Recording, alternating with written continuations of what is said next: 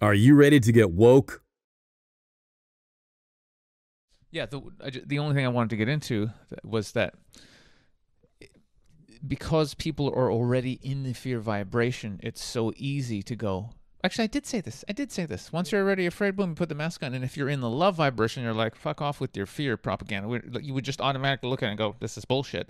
So it's really just comes down to your vibration. And so that's what this is. They've they've they use so much money and propaganda and you know a really long time to lower everybody into the fear and the survival using the economy using the everything all of it it's all about that making us unhealthy so so the the counter to that is love it's the only thing we can do burst into those higher frequencies and from a place of love then we that love is the greatest healer too. We're looking at you know all the new stuff at the time so if we can get to that love that breaks all of it all of it. And so that's why the spiritual global awakening would end this and end all this nonsense. If we're if we get to the love that's what happens here it's over. Like if, if if everybody just on the scale of consciousness suddenly just gets to 500 you know 501 forget about it forget it's over. It's just over. So even if the the creator was like, okay, I'm going to give you guys a bump up just to 501, but everybody everybody gets to 501, and if you're already more, that's fine. But everybody gets bumped up.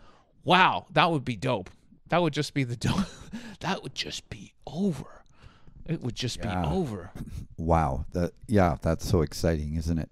And we're not talking about love from the place of, you know, romantic love. We're talking about the substance of this universe is made from love.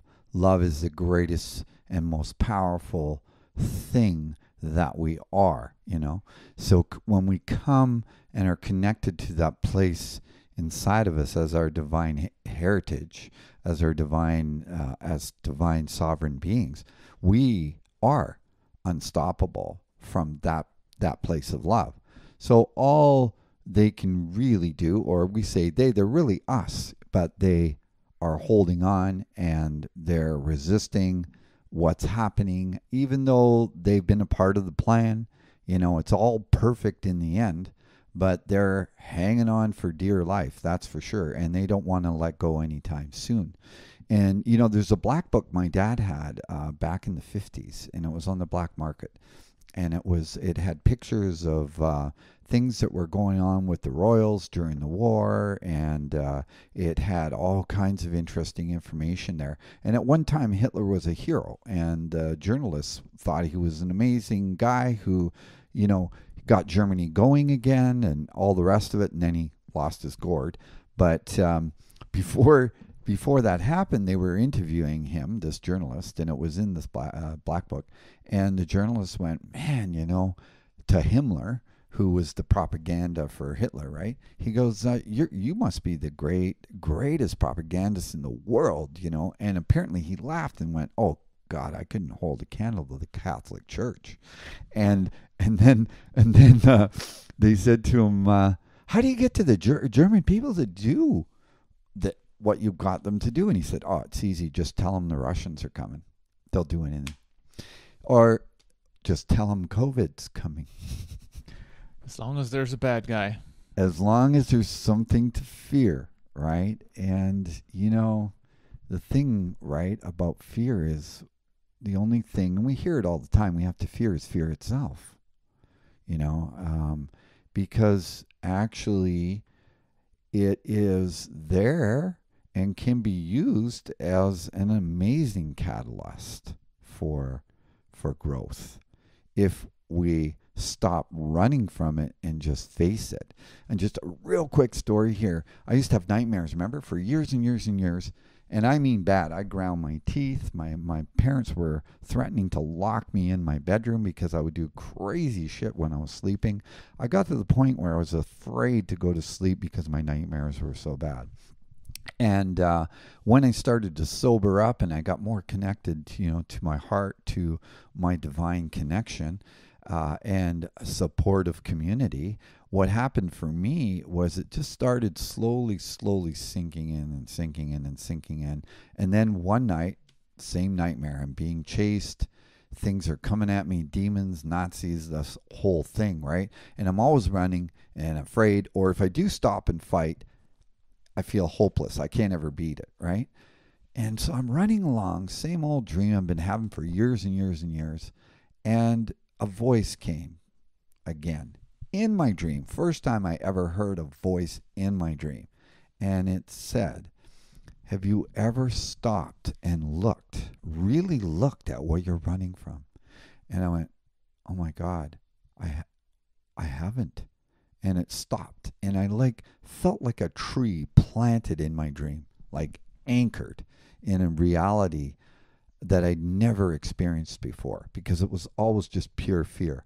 And then I slowly turned around and all of my fears were coming towards me. And you know what was so beautiful about that experience, too? All these angelic beings ended up holding my hand and they were all there. And I realized, oh my God, they've been there all along.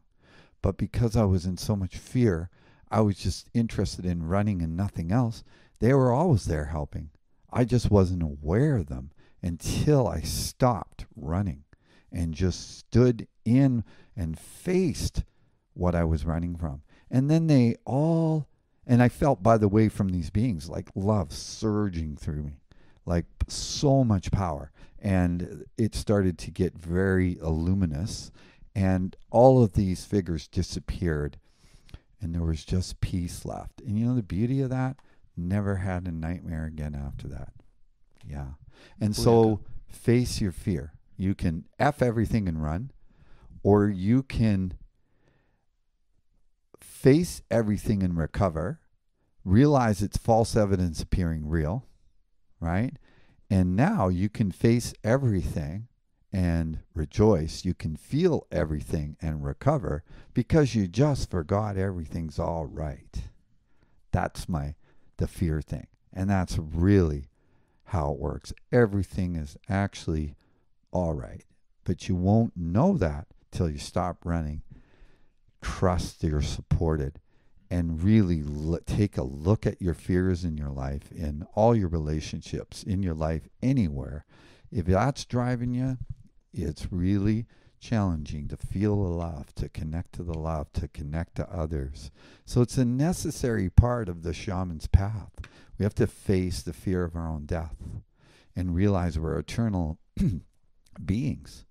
And you know, the funny thing, they say, die before you die. In other words, die now so you can really live now and you can really be here now, right? So that's that whole thing around that. And it's funny from the near death experience bunch, which I've had myself, whoever they interview, they all say the same thing, all of them. I didn't want to come back. right. Nobody wanted to come Nobody back. wants to come back. There's so many. There's so many stories out there from. On, oh my God, meditators, uh, near-death experiences, spiritual experiences, all this kind of stuff, man. It is so good when you actually experience our our true nature without the body, just just the consciousness. Wow, and you know you're home. It is Yeah, it's such absolute Yeah. bliss and joy, and it's Yeah. forever. Ever. There's no time. Right? That's when I came back. I was like, oh, there's no time. It doesn't exist. This is just an experience for Yeah. infinite eternal consciousness. So that's really the big secret. And that's what this war, war on consciousness, this vibrational war, is really, really all about keeping the biggest secret secret. You are Yeah. eternal. And if you knew you were eternal, you wouldn't be afraid of anything. If you've experienced ego death, death, Right. but it's not death, Right. ego death, and gone just for three, literally a moment, even. I say three seconds. Three seconds is too long because it's an eternity when you're there. So if you just had that experience, you'd go, oh, okay. There's no need to be afraid of anything because that's what you truly are. This is just an expression of that infinite consciousness. So if people, that's why this, and that's why so many people, you, me, many, many others, we keep getting the message, even though we want to run around and wake everybody up. And oh my God, the message is always just raise the consciousness, just mm-hmm. raise the vibration. Mm-hmm. Let people know that that is the truth. Mm-hmm. Those higher vibrational feelings of oneness and love, that is the truth. Oneness. You know, you hear the spiritual people go, eh, yeah, we're all one. It's not a spiritual thing to say to be cool. It is literally reality. The metaphysical reality is there is only one infinite consciousness that is eternal. And we're it. And we'll always be it. We've always been it. There's nothing else we can be but that mm-hmm. ever. And like you say, that Be pla- afraid. That right? Be afraid. Right? Be afraid, eternal consciousness. Like afraid of what? There's nothing but me here. There's nothing but that one here. What could you be afraid of? And It's then insane. we get back to quality of lifestyle experience, a quality of life experience, right? Fearless loving, fearless living comes when we go beyond the fear of death because we know who we are. And interesting, every person too was told to come back because they hadn't finished what they came here to do. So don't get worried about being enlightened, you know, which actually just means let go of what isn't you. That's all. So you can just be you. You're already that. You don't have to earn it or achieve it. You're already that. So it's more about let go of everything that isn't that, right? To just be what you already are. And so with that one, we all have a mission here. We don't have to get all caught up in did we not get it here, you know, because in that other consciousness we are enlightened. You know, here we're awakening and remembering who we are here, right? As eternal beings, which gives us another whole experience of what it means to live and be alive and love here. And we all came here for something. We all have our unique purpose, our mission here, right? In our own unique way. But it's under the umbrella of the same one thing the planet's awakening, and everybody has a part to play. So then it becomes about, well, be here now. Fearless loving, fearless living, living my gifts, my talents, right, in service to the collective awakening in a way that brings me incredible joy. And I'm able to connect differently with everything and everyone around me and be that beacon or that lighthouse for love here, love and light. And and that's it. That's that's what it becomes. And like Sasha said, when we're quiet in the center of the storm, we can listen and hear our own internal guidance from source, from spirit. And don't you worry, the right people will show up, the right things at the right time in the right places, and you'll be shown what you need to do, right? And it isn't just about putting our head in the sand and doing nothing. It's, you know, we're got we've got a lot of detoxing to do, a lot of things that are going to come up, a lot of things to face that will you know, be our own personal journey. And here's the good news, too you cannot evolve in a vacuum in the sense that it isn't a vacuum. As we evolve, we affect everything and everyone around us. We don't grow and awaken so that we can awaken our family, although we'd love them and love them to. We do it because we're here and that's what we're here to do.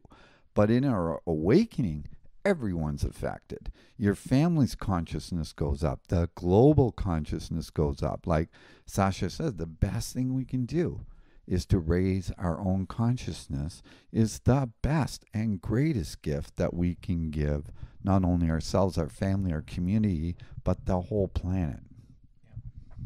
That's right. And that, that really sums up that question to all the people, including me, who get frustrated going, oh, what do we do to wake people up? You just be the highest version, living your gifts, doing your unique thing that you specifically came to do. And we've all got it. We've all got our unique. What What is the thing that makes you the happiest, that raises your vibration the most? Because the more you're doing that, in those high vibrations is how you're in the most joy, you're in the most love, and that's the power. That's what triggers it in other people. That's the number one thing I learned from hanging out with you over the last couple years. It it was the love it's always been the love that shattered all the the trauma, the fear, all the stuff I had going on. It was the unconditional love that was the greatest teacher, the greatest te- uh, teacher, healer, the greatest awakener, the, the most powerful force, always, and and the love of the, the big boss Yeshua, uh, in a couple of mystical experiences.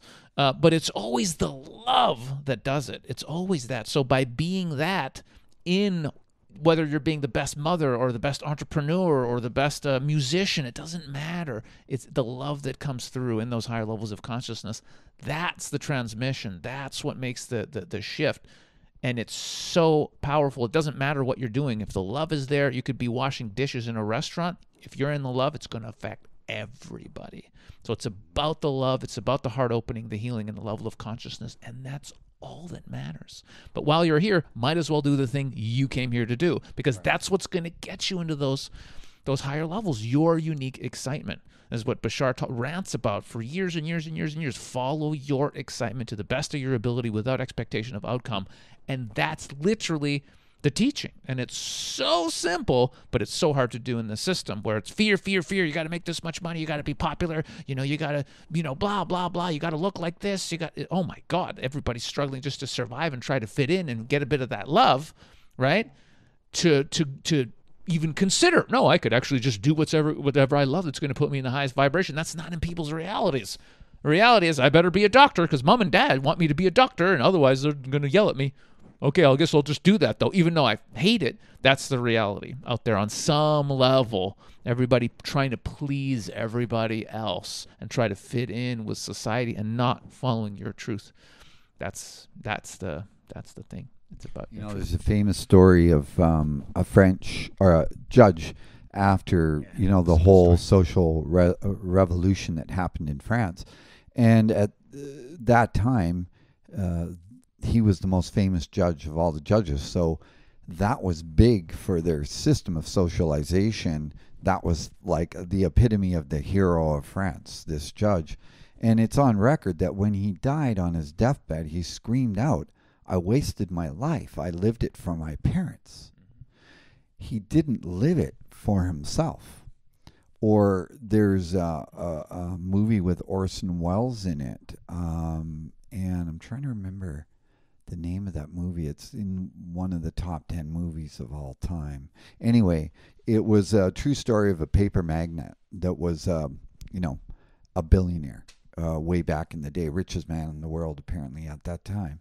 And um, the story goes that, I mean, he had warehouses of stuff, antiques and stuff from Egypt and all over the world. And when he died, he cried out, uh, Rosebud. And they went, What? He's the richest man in the world. Who's Rosebud? they didn't they didn't get it. So in the story, it's so amazing. They searched through all these warehouses of all the stuff that he had. And they finally found this little sleigh, and it said on it Rosebud. And when he was seven years old, a boy who hadn't inherited his parents' paper magnet uh, kingdom, they died, something happened to them, and he inherited it really young. He was a boy enjoying himself in the winter, going down on his sled, just really enjoying life. And when he got to the house, they it all ended because he inherited all this money. And then he became corrupted in it, driven by it, and in the end on his deathbed, he cries out Rosebud. In other words, he was wanting to go back to being 7 to his youth when he was here connected to life and who he was and nature and he was happy. So all that shit did not make him happy. And those are, for me, those are just two really cool stories of, you know, uh, being famous or being rich is great. You know, like Tony Robbins says, nice to arrive to your problems in style. Great. But if you're externally making that your search for happiness, never going to happen. There'll always be another another carrot and another carrot another carrot, you know? And then you realize, oh my God, it's an inner journey. It's an inner journey of happiness. It's a here now. I don't just be here now, like you said. Be who you are, be you, and experience you and the fullness of that. Wow, there's no better thing, right? And then you can share that with the love of your life or your friends or your community. And that's that's the best gift you can give life is you. That's it. And what a beautiful place to end this extra juicy part of the Woke as Fuck podcast. Love you guys. We'll see you on the flip side. Mm-hmm. Thanks, Sasha. Thanks, guys. Hope to see y'all soon. Bye bye.